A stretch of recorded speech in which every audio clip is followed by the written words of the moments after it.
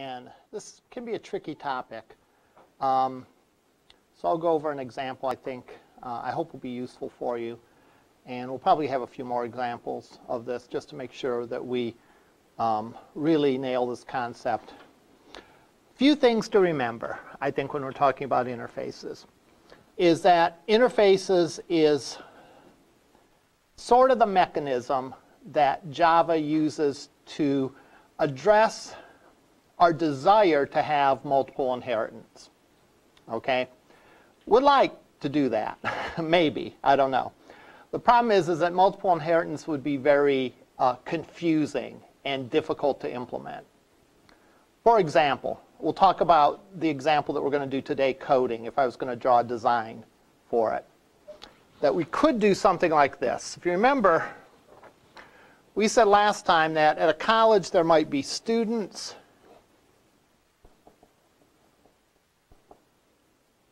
Actually, let's, let's take a different example. Let's take the example of a bird, us wanting to make a bird a animal, a flying thing,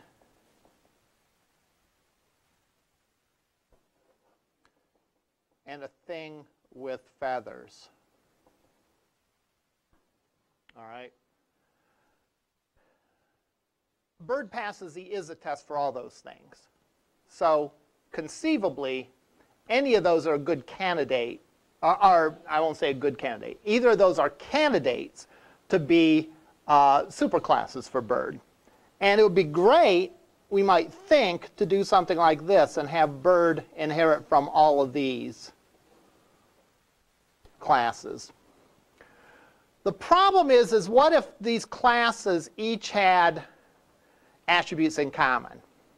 A name attribute, a set name method, a get name method, um, get weight method. All these different methods that there could be a conflict for. All right? Which method would we use for get name? All right? Now, get name isn't that big of a deal, maybe, but um, you know, calculate or, or, or give average weight. Well, the average weight for a bird and a flying thing might be different, all right? Um, if there were attributes in common, if one name was a certain number of characters and another name, uh, if one was a, if an ID number for it, one was a character, one was uh, a numeric, if they're ID number attributes, which one would you use? All these things just really complicate the issue because there could be conflicts. Which method do we use if there's methods in common? Which attributes do we use if there are attributes in common? How would constructors work? All those things just get to be a horrible pain when we have multiple inheritance. So here's what Java said. Java said you could only have single inheritance, which means that every class can only have at most one superclass. Now, you can have a chain where class A has class B for its superclass, class B has class C, class C has class D, and so on. But every class in that chain only has one direct superclass. So what would we do, what we would do in a case like this is we'd pick the one that we thought was the strongest is a relationship, the most relevant to the problem that we were trying to solve. And my guess would be that for most applications, would have bird inherit from animal.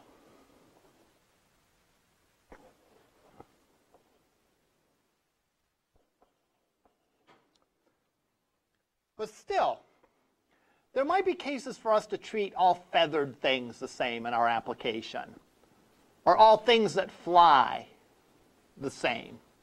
All right? Again, if we were doing test flights, um, we might have helicopters and and planes, and sometimes birds upon takeoff can be a hazard to planes. So we, we might want to consider anything that a plane could encounter while flying. So we might want to have a flying things class. But we already determined we can't have multiple inheritance. So what we do is we create an interface.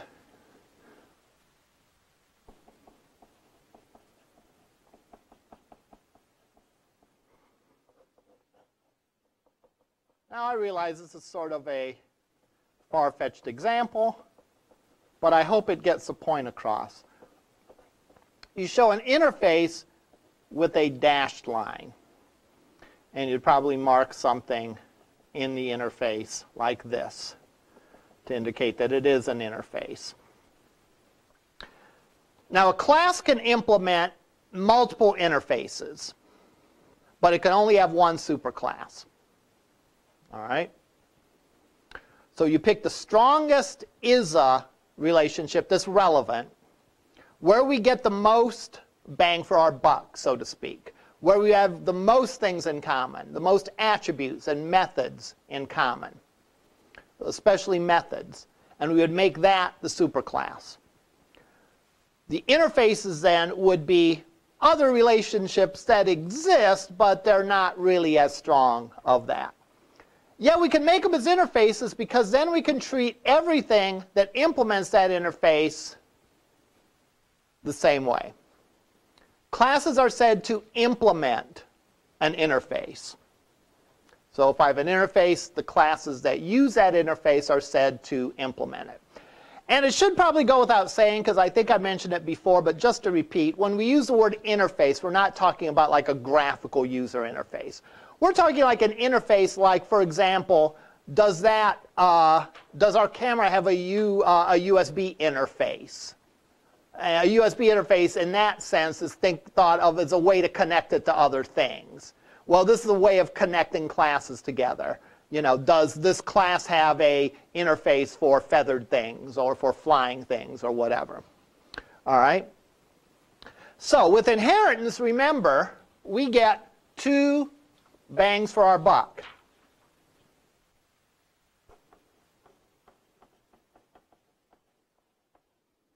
And that is, number one, we get the ability to inherit code.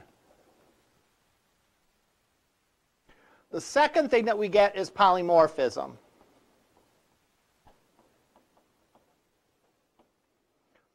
Thinking back to our pizza example, we had uh, a sheet pizza that inherited from pizza.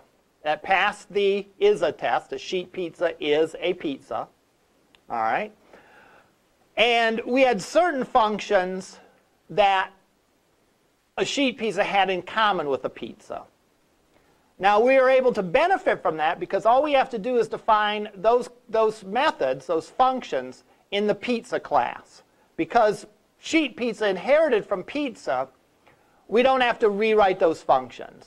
So that's a benefit of inheritance, is that you can define a function on a superclass and all the subclasses get it. In other words, whatever is defined in the superclass, the subclasses get for free without you doing any sort of work. You only need to code the differences. All right? You only need to code the differences. Um, so if there was something special about sheet pizza, which in our example, I don't know, the price of sheet pizzas was different or something like that. And there was, I think, an additional attribute, like what the crust was stuffed with or something like that. Then we would have to write the code just for those differences. Now the second benefit we saw was the case of polymorphism. Again, polymorphism meaning many forms. And the case where we saw that was when we added the different pizzas to our order. We could add a sheet pizza, we could add a regular pizza. All right? We made our array list to contain pizzas. So we had an array list of pizza.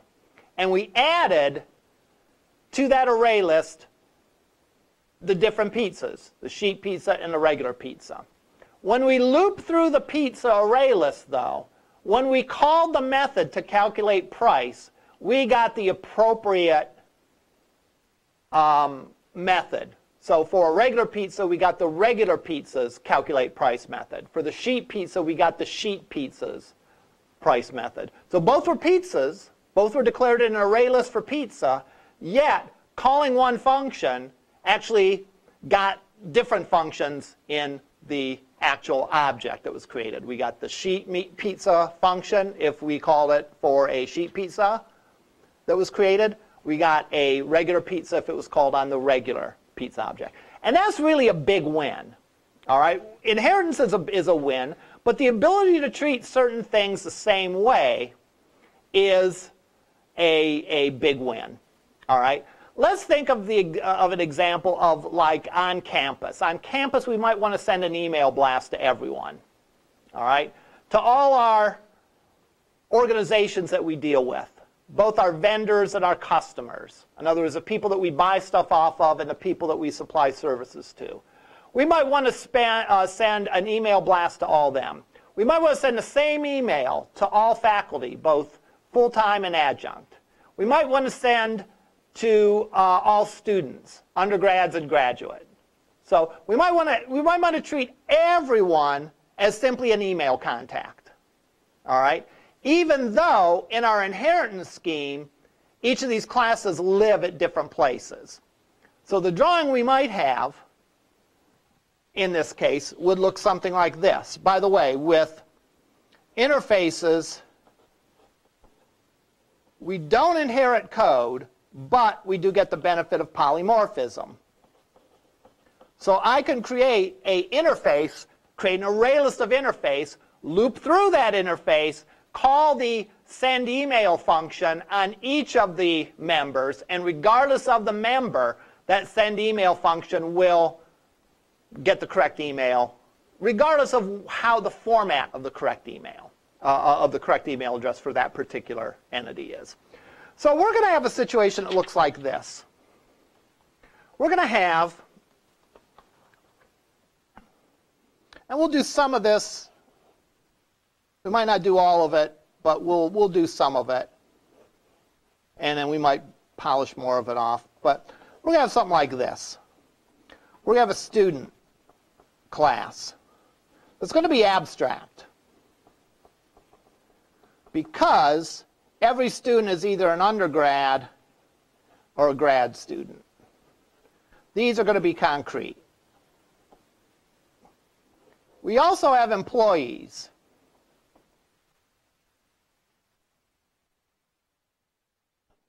And for employees, we have staff and we have faculty. All right? We could take that down to adjunct and full-time, but staff and faculty is enough. Then we have organizations, and there could be vendors,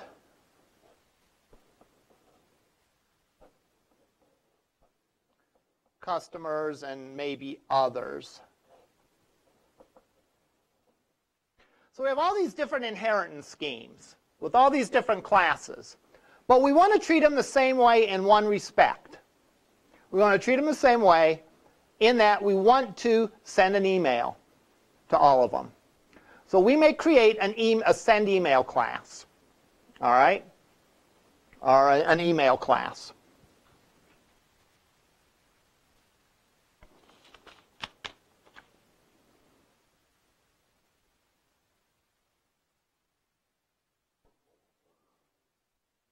There's going to be a send email method in here. So we'll call this an email contact class.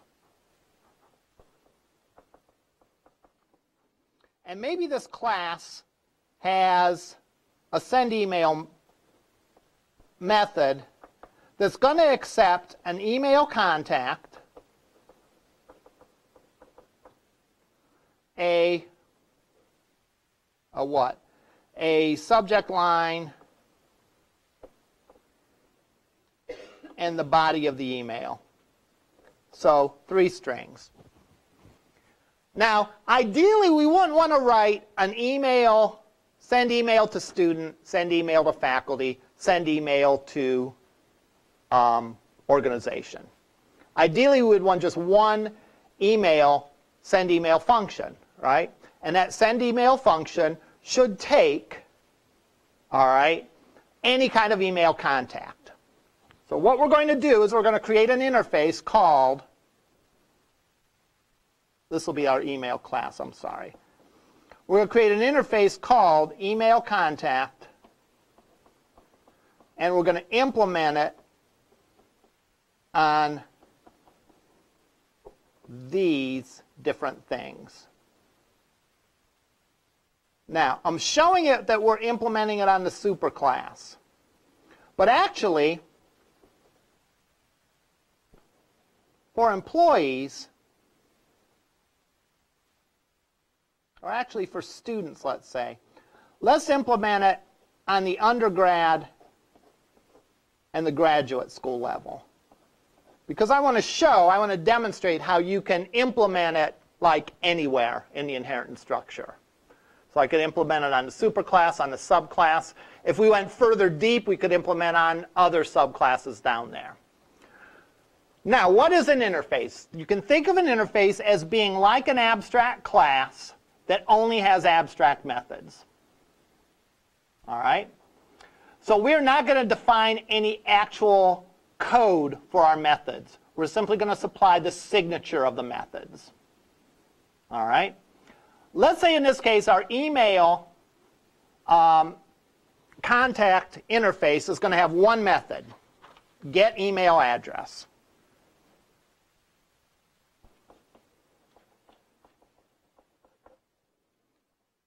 It's going to be an interface. Interfaces have no attributes. They only have methods. And all their methods, by definition, are abstract. So we're going to have a get email address method. And it's going to return a string. All right? We have a public string get email address, and that's going to return a string. And that string is going to be the email address of that person. All right? Now let's say the email address for each of these is set up by a couple different rules. All right? Let's say for undergrads,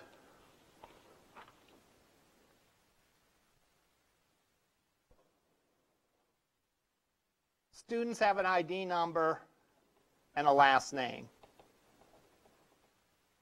Let's say the email address for undergrads is simply going to be their last name, their student number, at the name of our college, whatever it is. So that's their, that's their email address. That's the rule that they have for their email address. Every student gets assigned an email address, and that is the name of it.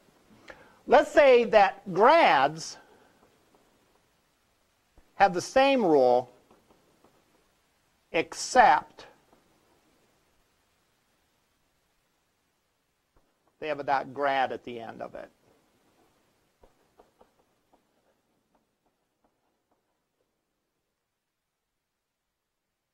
Let's say any employee, their email address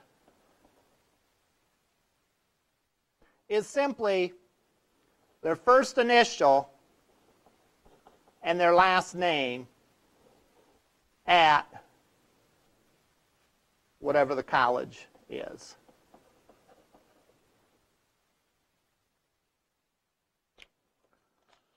And let's say our organizations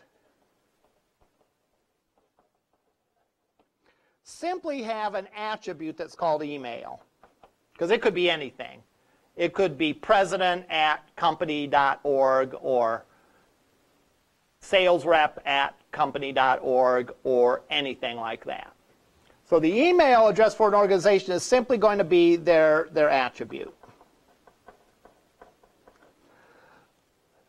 This is important to note about interfaces.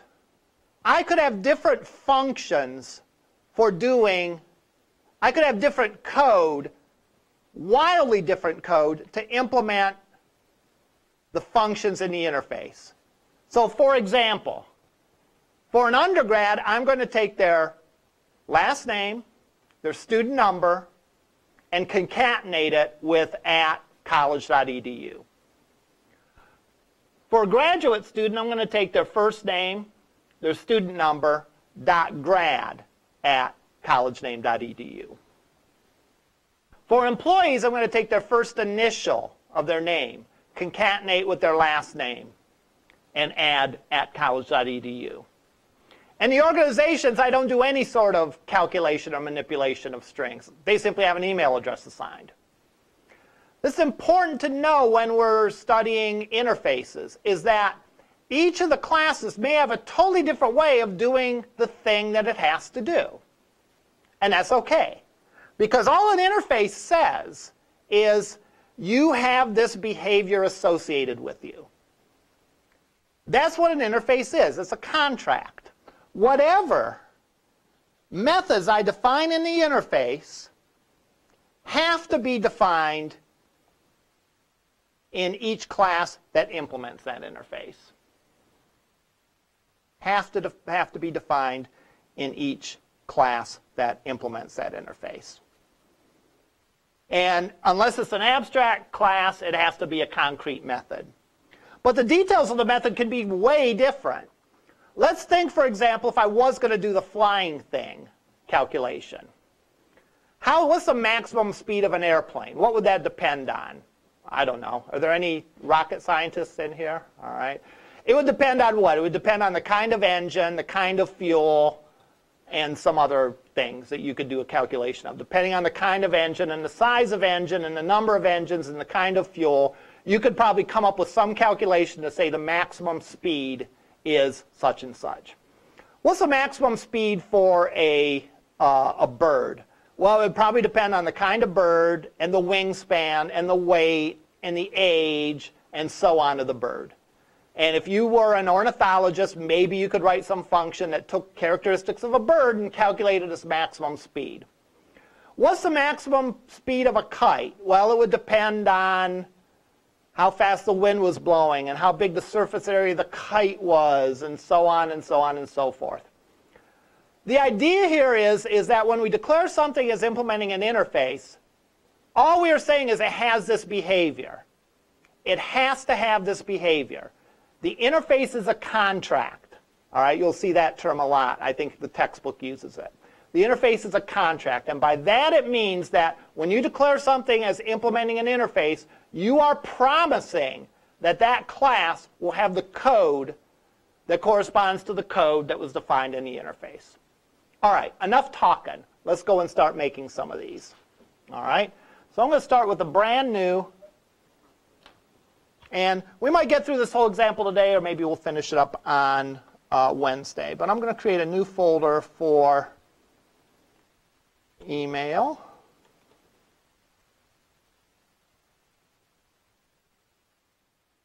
I'm going to start out creating a class. I'm going to create my interface. So, public interface, not public class, but public interface, email contact.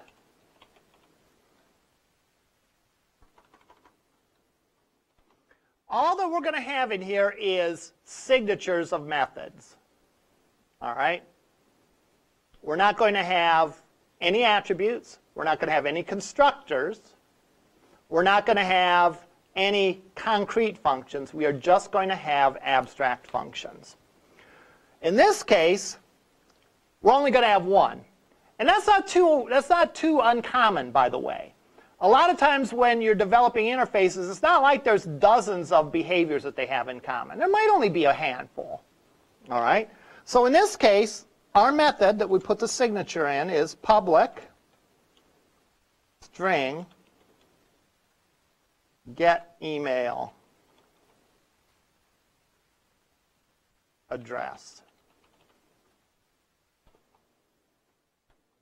All right? So that's the signature of our function. No code associated with it because we can't, we don't inherit code with an interface. So I'm going to save that as Java in my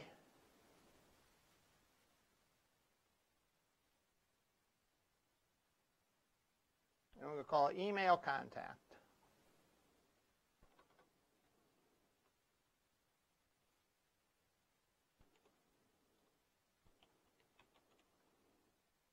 I'm going to go in, and even though this doesn't do anything yet, I'm going to compile it, right? Just make sure I haven't made some dumb typo. Because I don't want to have a million errors when I finish this and compile it and realize I forgot 16 semicolons and spelled 12 things wrong and so on. As I do a little piece, I'm going to compile it. Even though it doesn't run yet, I'm just going to make sure I don't have any syntax errors or typos or anything like that. So I will go into that folder.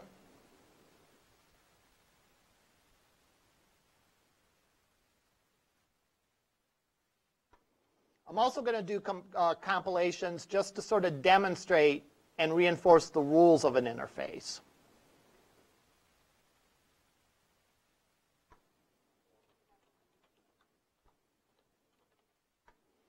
So, so far, so good. Well, I would hope that we'd be able to put in two lines of code without having uh, an error, but we did that. So now I'm going to create my first class, and I'm going to create my um, let's see. I'm going to create my faculty, my employees class.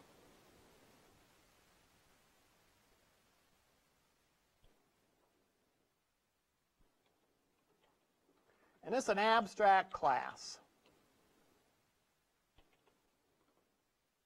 Why is it an abstract class? Because no one is merely an employee. You are either faculty or staff.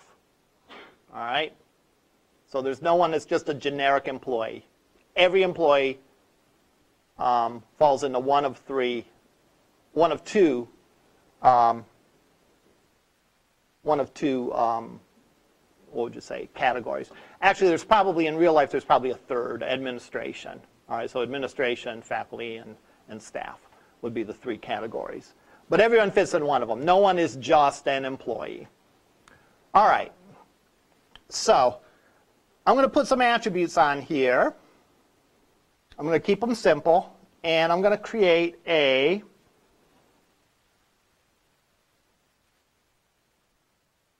uh, protected string first name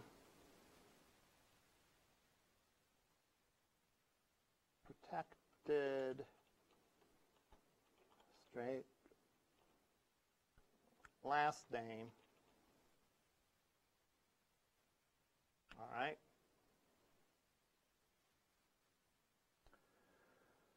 And I'm going to create a constructor here. I think that's all I need for them, right, as far as the email goes. There could be other attributes again. I'm only worried in this case about the stuff that is relevant for email. But I would have, you know, their social security number, their address, their phone number, and all those things. And I'm going to create a uh, constructor. Remember, we can have, in an abstract class, we can have concrete things.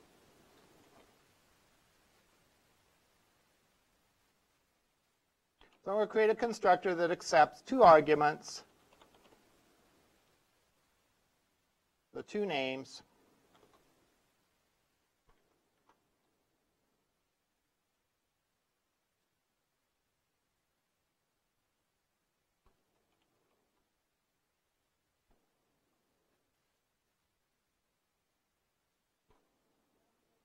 and simply sets the value of those attributes to the value of the arguments that get called.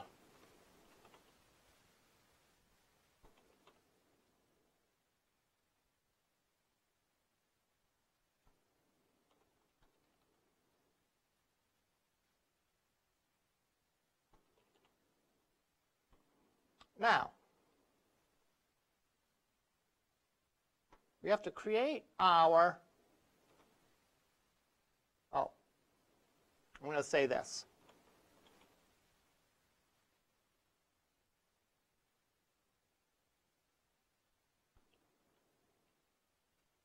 All right, implements email contact.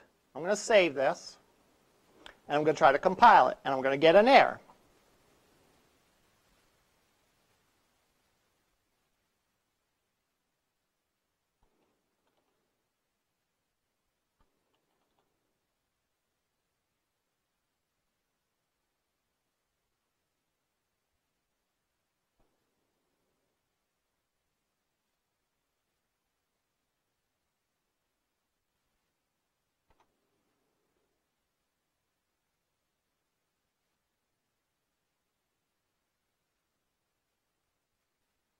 I don't get an error.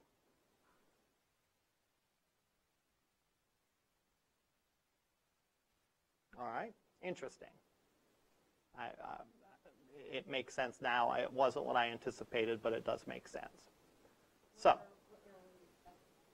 I was expecting it to complain that I said it implemented the interface and it did not have a get email address method. Um, this class got a pass because it was an abstract class. The abstract class, if it was a concrete class, I would have gotten the error. So let's make a concrete class, and let's get the error.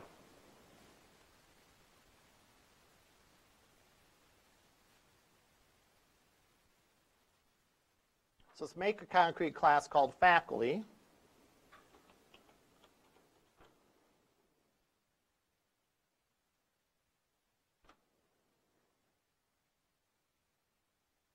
And I don't need this attribute. And I need a constructor. But the constructor can simply call the superclasses constructor.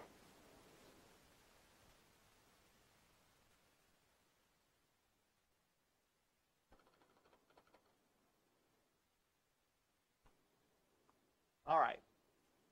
Now I'm going to save it. And I need to get rid of abstract. Thank you.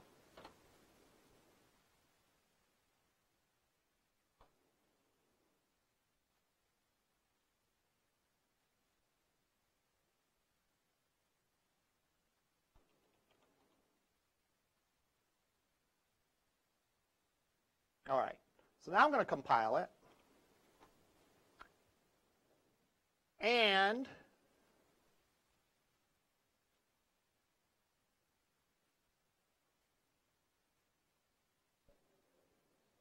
I did make forget to make it extend.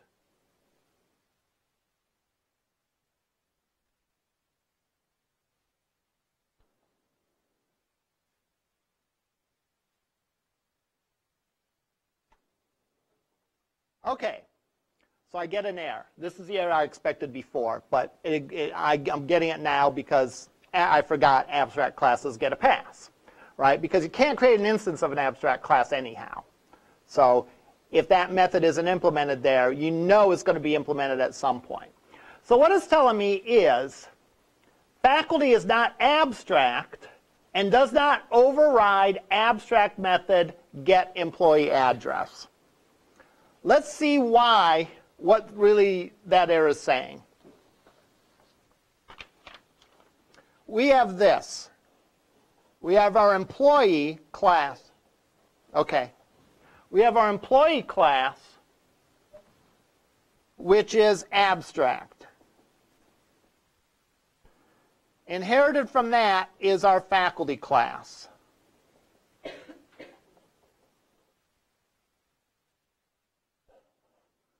This guy implements the email contact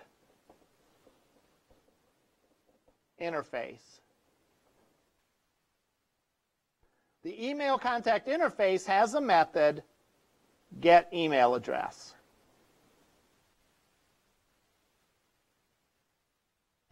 So, when I compiled it before, when there was only these two, I didn't get the error because this is an abstract class, all right? Because it's an abstract class, it can't be instantiated. Therefore, there has to be something that comes below it. All right? There has to be a subclass that is going to be a concrete class that we can create an instance of. And therefore, the compiler isn't too concerned that this email, uh, that this get email address doesn't exist here, because this can't be instantiated anyhow. So I haven't broken my contract yet. I haven't created anything that I can make an instance of that doesn't have get email address. As soon as I make this, which is a concrete class, and I try to compile it, we've promised that in employee, and by the way, all of its subclasses are going to implement this email contact.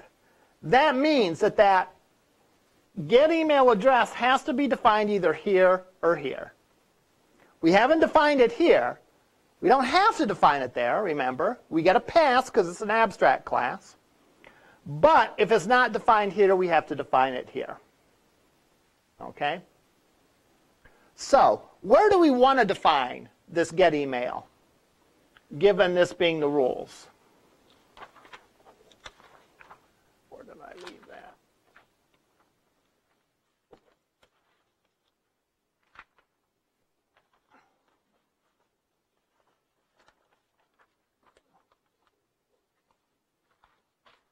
Given this being the rules, all employees have this format for their email address. So where should we declare that function? In employees or in each of the two subclasses? We could define it in employees. We can, we can define that in there, and that lets faculty and um, what was the other one? Um, staff off the hook. All right. However, we don't have to declare it there because, again, it's an abstract class. We can't create an instance of it. So I'm going to go in here and I'm going to declare in my employee class public string get email address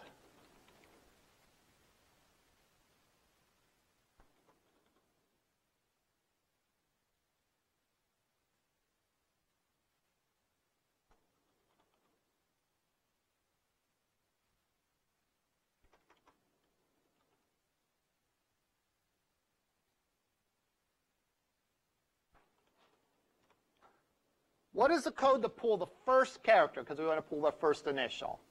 I don't know. Let's Google it.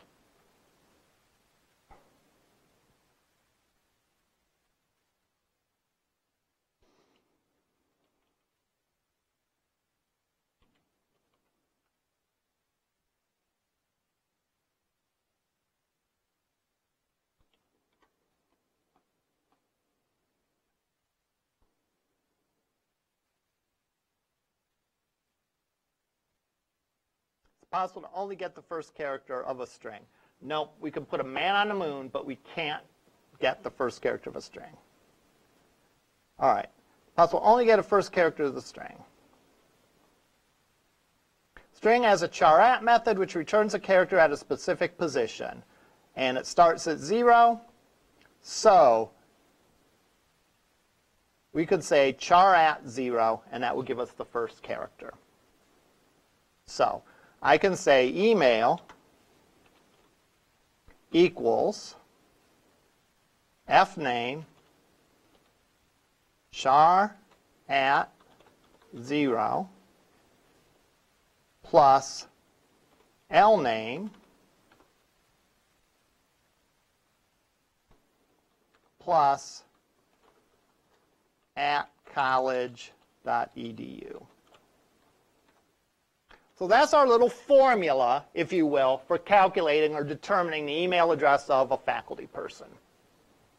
So now can I compile it?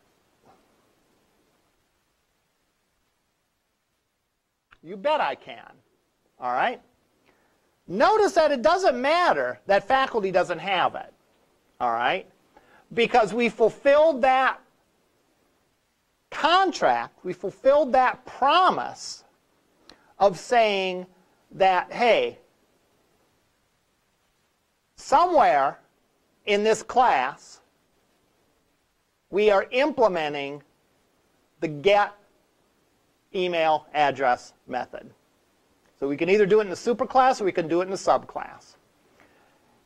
The only exception of that is we get a pass if it's an abstract class. We can have the abstract class and not have the uh, method in there. All right? As long as it's inherited. So if there was a, if there was a subclass of faculty, like adjunct faculty and full-time faculty, again, we wouldn't need to implement that function because that function is up in the superclasses. All right? So I'm going to go with student now. I'm going to do the same thing. And I'm just going to do student and undergrad.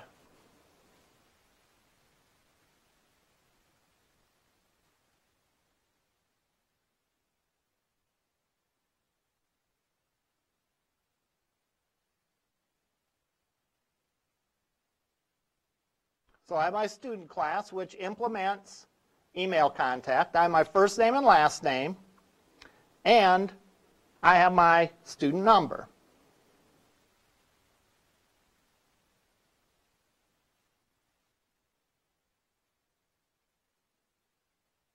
We'll call it ID.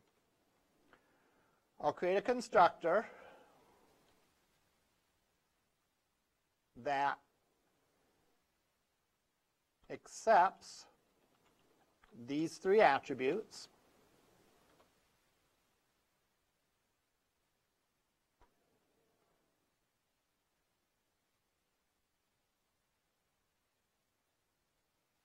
I can't put the public string get email address here because the different kinds of students have different rules for email. Right, we determine the email for a graduate student different than we do it for a regular student. Okay, so I'm going to go and save this as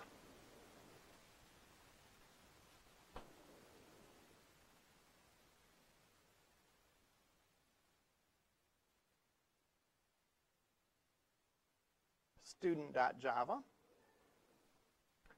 And finally,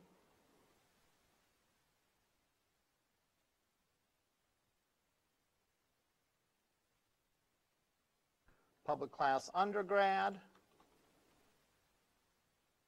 extend student,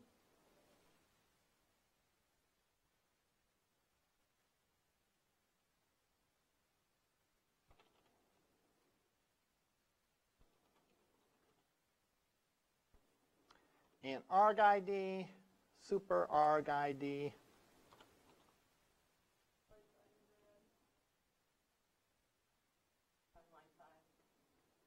Yes.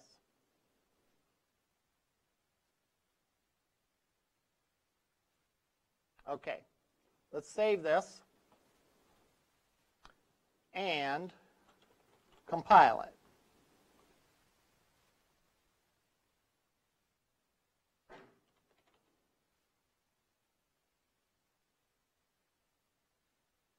All right, so I saved it and compiled it. We're going to have the same situation as we had before.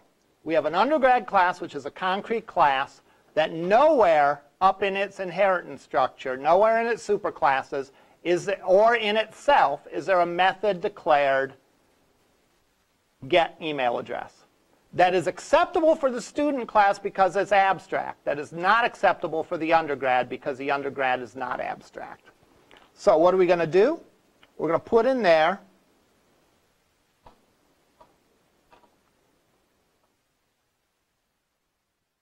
the method to get the email address that is going to be simply the last name plus the ID plus at college.edu.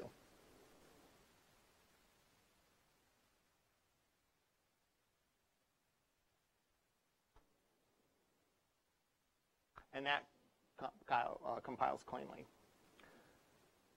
Last thing we're going to do is we're going to create the graduate student.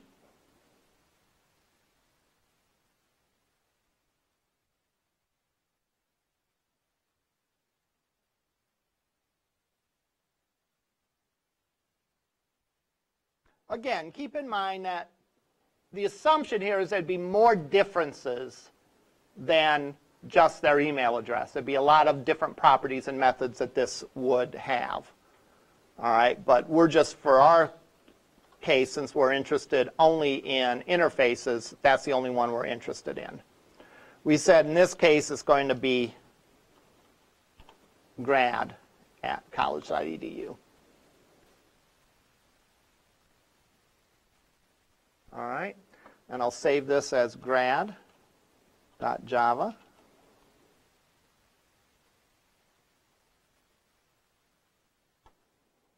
I'll compile it. All right. Okay. So now we have a couple classes anyhow that fully implement that. We don't have our whole class chart because we forgot the organization side of things, but we can we can skip that for now. And I don't think what else we didn't do something else. We didn't do staff also, but still we have uh, those things. Let's go and create our email class.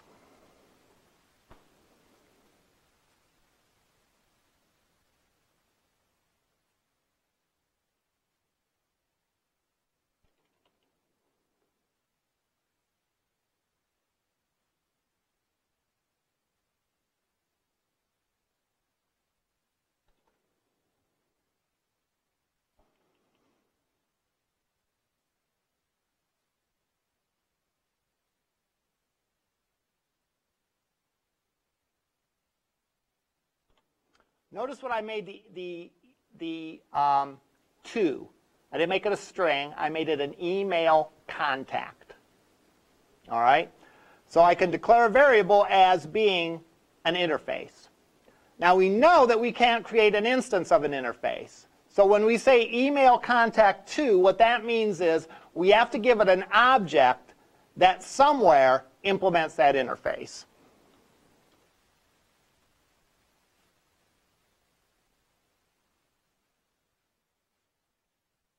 I think before I said would have strings. We're not going to have strings. We're going to have um, an email contact for that. We are going to have strings for the subject and a string for the body.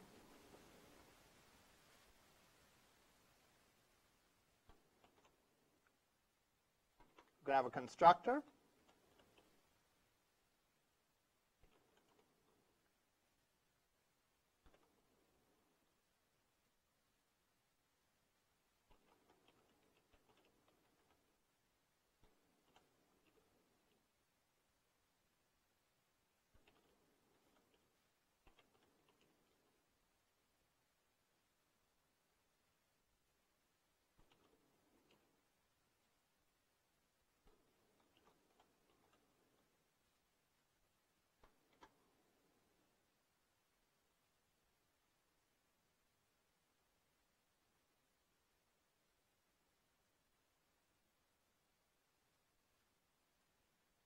And we are going to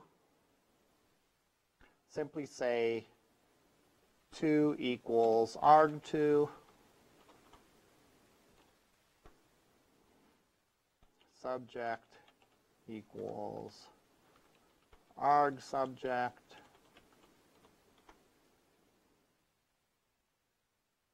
body equals arg body.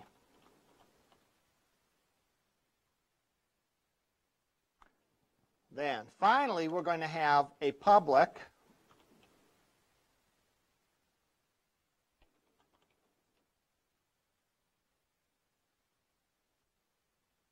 a send email method.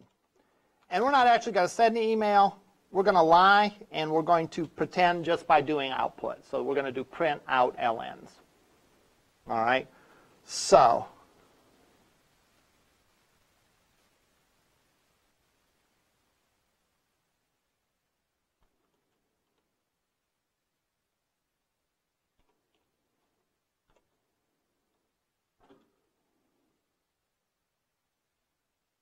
just going to put a little line between emails to make it easier to read.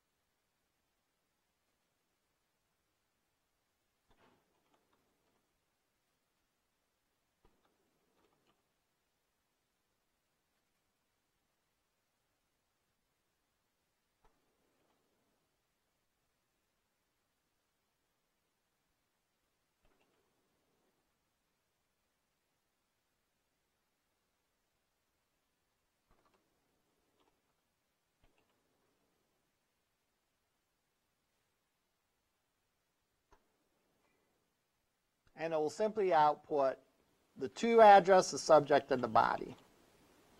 Now, we're already a little over, so I don't have time to write the test class. That's where we'll pick up on Wednesday. But what I would like you to do, or what I would like to do, is compile this, just to show you that everything we have is okay. We can define an attribute as being an interface. What that really means is an object that implements that. Yes? Oh, thank you.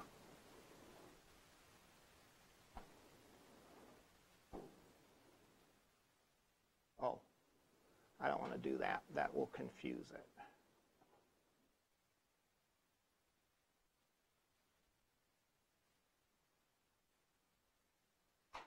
Um, if you want, try writing a test class for this between now and Wednesday. That would actually be great. That may, well, I've got to think about this. But we will look at the test class, but I do want to uh, try compiling this before we go. Just to make sure when we start Wednesday, we start in with a clean compile. I added some parentheses here that shouldn't be here.